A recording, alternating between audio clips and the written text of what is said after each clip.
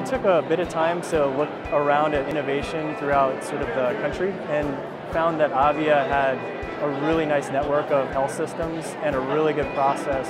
to try to find the signal in the noise. So Avia has helped us by really mapping our own internal innovation uh, processes and providing a lot of recommendations about how we can make them much more efficient.